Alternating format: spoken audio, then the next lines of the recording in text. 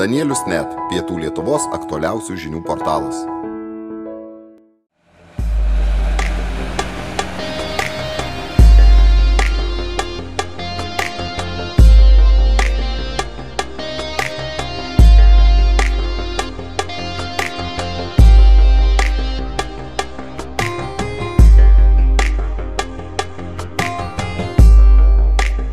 Prieš dešimt metų Lietuvos miesto savivaldybės sprendimu apleistas Rusijos nuo gatvėje 2 buvo rekonstruotas ir buvo numatyta, kad šiame Rusija bus įkurta Lietuvos kraštotros muziejaus archeologinė ekspozicija. 2007 m. vasarą šitame restauruotame Rusija buvo e, pristatyta pirmoji tokia laikina paroda, dar tiesa nebuvo ekspozicijos nulatinės, tai yra būsimo projekto rėmose, bendradarbiaujant su Savalkų krašto muziejumi. Čia buvo pristatyta paroda pasakojanti apie Olafo Falko tyrinėjimus Jotvingių krašte, tai yra e, šiuolaikinės Lenkijos teritorija, aplink Suvalkus, e, senojo Jotvingių gyventojo teritorija. Tarpu kurio metais švedų etnografas Olafas Falkas tyrinėjo Jotvingių kraštą.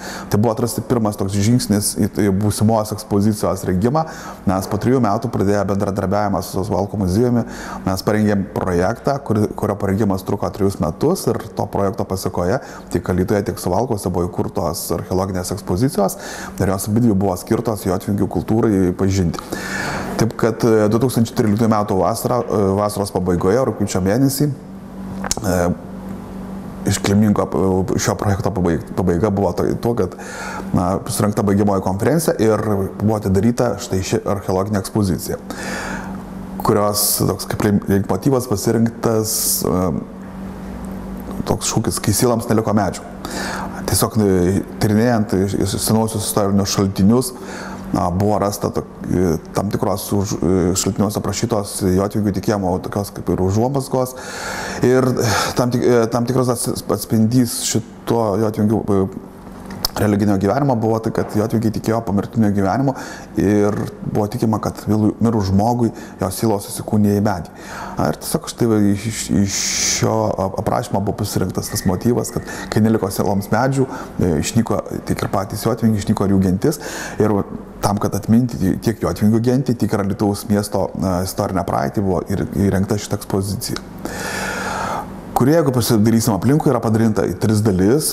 Pirmoji dalis yra skirta iš vis e, archeologiniai Dzukijos regiono praeičiai, kadangi ieškodami kažkokio išskirtinio e, elemento, kas galėtų ypatingai skirti mūsų regioną tarp kitų Lietuvos regionų, e, mes atkreipiam dėmesį į Titnagą paprastas titnagas, kuris pas mus Zukijoje tikrai, kaip Reničkiai sako, pas jūs tiesiog vos neauga iš žemės, pas mus galbūt prie Lietuvos radome mažiau, bet šiauriau keliaudami į Lietuvą mes titnago tikrai beveik nerasim. Ir todėl štai pirmoji dalis yra skirta akmens amžiaus periodui Zukijoje ir mes čia galime pasigrožėti įvairiais titnago dirbiniais, radiniais iš įvairių pietų Lietuvos vietovių.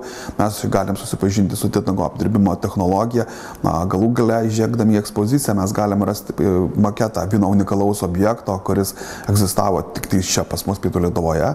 Tai yra požyminė titnago kasimo šachta, kuri buvo įrengta akmens amžiaus laikotarpį Varėnos rajone prie Titno ežero ir tiesiog įeidami į ekspoziciją nusileidę laiptais, jūs dešinėje pusėje matote šios šachtos maketą. Taip pat, aišku, pirmojo daly mes galime jums parodyti ir pristatyti, kaip tas titnakas atrodo natūralioje stadijoje, kada jis buvo rastas, įvairius apdirbimo etapus, Taip pat, aišku, toliau, toliau, toliau galima ir išbandyti. Galima pabandyti gręžti medį senaisiais įrankiais, galima išbandyti senasias trinamasias akmens girnas, galima pamėginti trinkti akmenį, pabandyti šlifuoti, kaip tai buvo daroma, nes e, akmens apdirbimo procesas tikrai buvo ilgas ir sudėtingas. Ir visą tai galima išmėginti e, apsilankius šitoje ekspozicijoje. Taip, tai pirmoji dalis, kaip ir sakiau, yra skirta Dzukijos e, regiono E, praeičiai pačiai seniausiai nuo akmens amžiaus iki naujo akmens amžiaus laikotarpio, o štai antroji ekspozicijos dalis, kuri šiek tiek įsiskiria, jeigu pasižiūrėsim net ir vitrinos spalvų gama kita pateikta, antroji dalis yra skirta jo atvingių genties pažinimui, jo atvingių kultūrai, nes kaip ir jau minėjau prieš tai, kad e, būtent šiuose kraštuose gyveno jo atvingiai. Taip, tiesų jo atvingių gentis kurios paskutiniai paminėjimai yra žinomi 13 amžiuje, kurio puolant kryžiuočiams jų nema, didžioji dalis buvo sunaikinta, dalis persikėlė į tuometinę Lietuvą ir apsigyveno čia pietų Lietuvoje.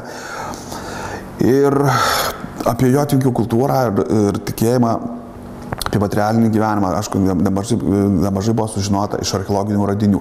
Ir štai tolimesnė ekspozicijos dalis kaip tik ir pristato jotvingių gyvenimą, jų tradicijas, papročius, laidoseną. Šonuose matom vitrinose patiktus eksponatus iš įvairių Lietuvos, pietų Lietuvos regionų. Pačioje ant grindų pamano kojomis, aišku, galima išvelgti, yra Pietų Lietuvo žemėlapis, Lietuvos apskritis, kurioje sužymėta radimvietės, iš kurių atkeliavę radiniai mūsų šitas ekspozicijos vitrinas. E, keliaudami štai raudomis linijomis, jūs tiesiog galite keliauti nuo, nuo, nuo pačios radimvietės iki eksponato, kuris yra pateikiamas ekspozicijoje. Už mano nugaros pateikta schema, kur pateiktas vienas iš tokių iš įdomiausių, spūdingiausių jotvingių kultūros palikimų, tai yra dzirmiškių E, Piliakalnis e, su gyvenvietė ir kapinynu.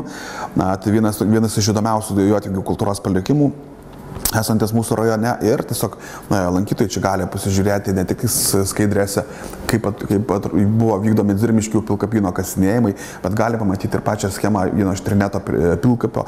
Na, čia galima atkreipti dėmesį ir štai ir patikta ir schema vienos iš kapavičių, nes būtent e, kuri atspindi laidosenos papročius e, pirmaisiais amžiais po Kristaus būtent Jotvingių gyventoje teritorijoje. Ir už tai šitą antroji dalis kaip tik ir e, pristatydama Jotvingo gyvenimą, taip pat suteikia dar tam tikras kitokias pažinimo galimybės, apart e, eksponatų esančių ekspozicijoje. Keliaujant, aišku, galima pasižiūrėti ir įvairias skaidrės esančius ekranuose, bet taip pat galima atkreipti dėmesį ir, ir į ant sienų pateiktus įrašus įvairius. Nes jotvinkio tauta, kaip ir, kaip ir minėjau, nors ir yra kaip ir išnykusi, apie jų kalbą yra labai mažai žinoma, bet išliko vietovardžiai, išliko vandenvardžiai, kurie yra jotvingio kilmės. Ir mes galim pasiskaityti tos pačius vietovardžius ir vandenvardžius, kurie yra čia pateikti ekspozicijoje. Na, tarp kitko, net ir pats Alitus yra, manoma, kad yra jotvingiškos kilmės vietovardis. E, taip Visą tai paįvairina ir kompiuterinės technologijos, kadangi jose yra patikima informacija ir apie pačius radinius, apie, apie a, tos pačius istorinius periodus, kurie yra pristatomi, bet kompiuterinėse technologijose, terminaluose mes galime ir išmėginti kompiuterinius žaidimus, kuriuos gali lankytojai sužaisti. Na, vienas iš jų, sakykime, yra pažintinis žaidimas skirtas susipažinti su viso krašto istoriją, su to, kas yra pasakoma šioje ekspozicijoje, tai tiesiog lankytojams, norint sužinoti ir atsakyti iš tai tuos nes, lik ir nesudėtingus kartais mums atrodo klausimus, tai reikia atidžiai pasivaikščioti po ekspoziciją, pasidaryti, kai ši yra pateikiama vitrinuose ir tada galima visą tai spręsti. Taip pat yra pateiktas e, terminale dar vienas toks e, interaktyvus žaidimas, kuris vadinasi Pastatyk Jotvingių į namus, kuris, kuris, yra, e, kuris leidžia susipažinti lankytojams su Jotvingių kultūra, su laidimo papročiais, su jų gyvensina. Na, tai būtent per tokius interaktyvius pažinimo metodus bandome daugiau pritraukti tą jaunąją kartą, kuri yra labiau susijusi su šlakinėmis technologijomis, nes iš tiesų ekspozicijose tai labai ryškiai susijoja, nes vyresnėje lankytojai pirmiausia eina prie vitrinų, prie eksponatų, jaunimas, aišku, pirmiausia domisi e, informacinėmis technologijomis. Na ir tolimesnis kaip tarsi perinamas e, etapas, štai už manęs nešuose įrengta ekspozicija, tai yra ekspozicija pristatyta Bazorų kapinino radiniai, tai yra jau tolimesnis laikotarpis, tai yra 14 amžius ir tai yra tas jau pereinamasis e, valstybės kūrimosi laikotarpis, tai yra pereinamasis laikotarpis į krikščionybės atsiradimą mūsų kraštuose. Na ir trečioji ekspozicijos dalis yra skirta Lietuvos miesto istorijai, kuri pristato Lietuvos miesto istorija, kaip ir jau minėjau, nuo pirmųjų gyvenvičių e, esančių miesto teritorijoje iki savivaldos suteikimo 1581 metais. Visą tai yra labai ir dėkingai pasirinkta šita e, pati ekspozicijos vieta, kadangi šitas pastatas, Viesno gatvė 2, kuriame mes dabar esame, nors e, mes galime iš, iš, pasižiūrėti išorėje kabančias lenteles, kad parašyta, kad tai yra 16 amžiaus rusai, vis dėlto tiek archeologiniai e, kasinėjimai, tiek ir na, mano surasti archyviniai dokumentai byloja, kad šitas pastatas na, turėtų būti pastatytas tik 18 amžiaus viduryje. Bet kuriuo atveju tai yra pats seniausias statinys Lietuvos mieste.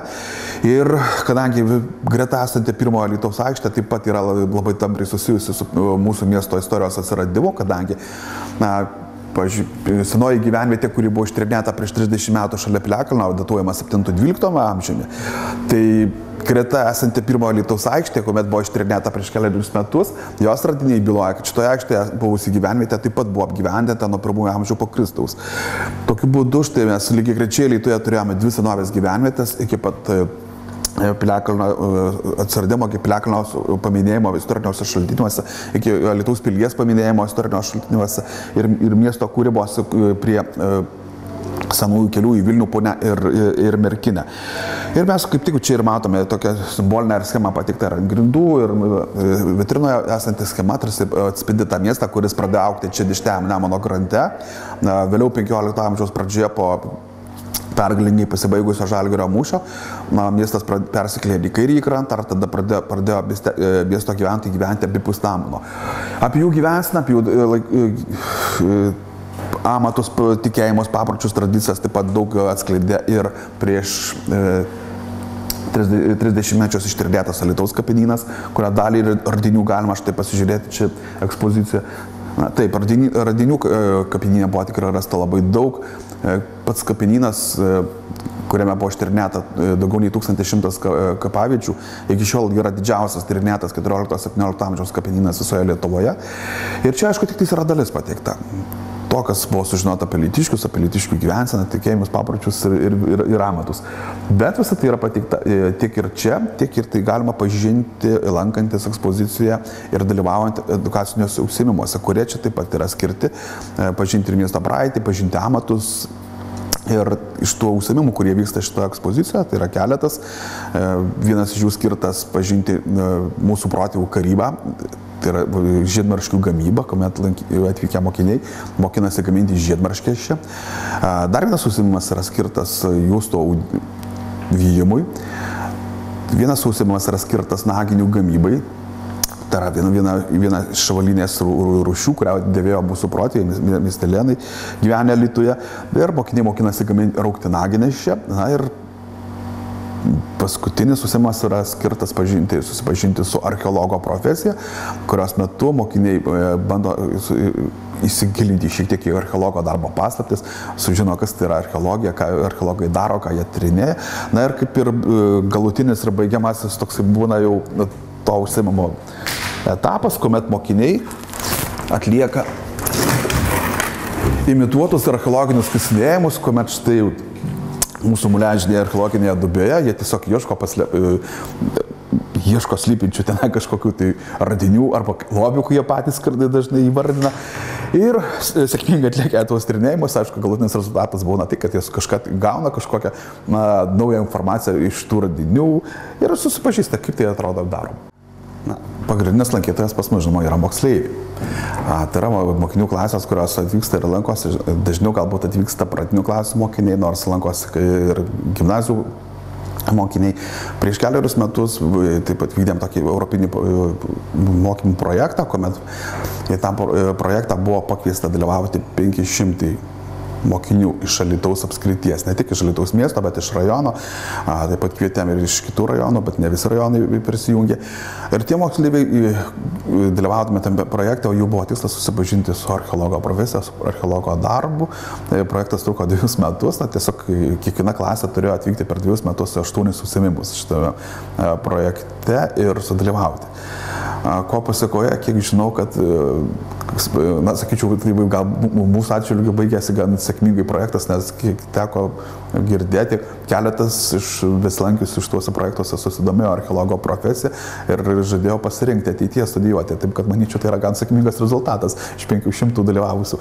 O štai kiti, kurie dalyvauja projekte, bet lankė, lankosi šituos užsiemimuose, tai dažniausiai irgi yra galbūt tas pas pagrindinis tikslas sužinoti, kas tai per paslaptinga profesija, ko, ko jie ieško, kokių lobių, kaip jų vaikai dažnai vardina, archeologai atranda ir kaip jie jų ieško. Aš žinoma, be moksleivių ateina ir pavieniai lankytojai. Tai žinoma, miestelėnai, kurie domisi savo miesto istoriją, kuriems galbūt yra kažkokios nostalgijos apie šitą patį Rūsį. Na, kartais apsilanko aplinkiniai gyventojai, pradžioje bent jau būdavo visiems įdomu pažiūrėti, kaip pasikeitė, nes iš tiesų, kaip ir sakiau, pastatas, kuris gyvuoja daugiau negu 200 metų, taip, jis turi labai įdomią istoriją. E, šitame pastate daug ko buvo.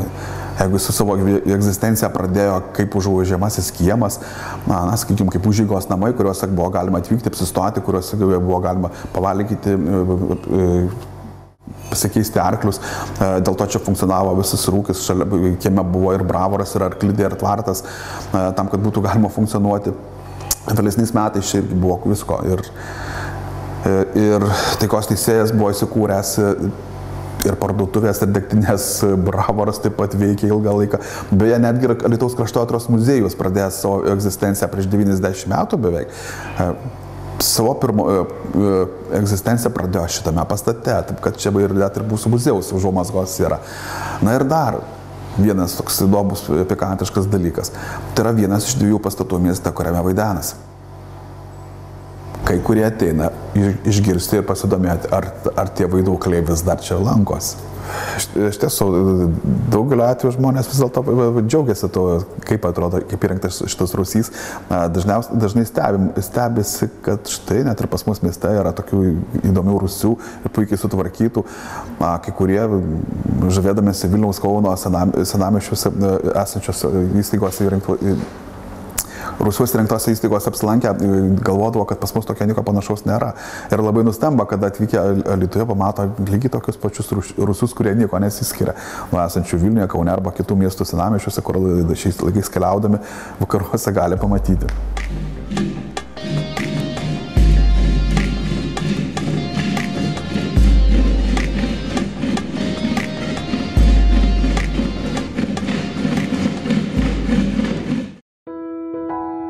Danielius net pietų Lietuvos aktualiausių žinių portalas.